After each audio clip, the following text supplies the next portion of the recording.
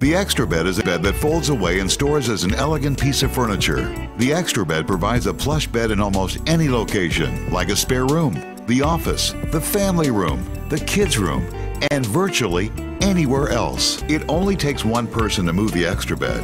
When it's time to use the Extra Bed, simply roll it into position.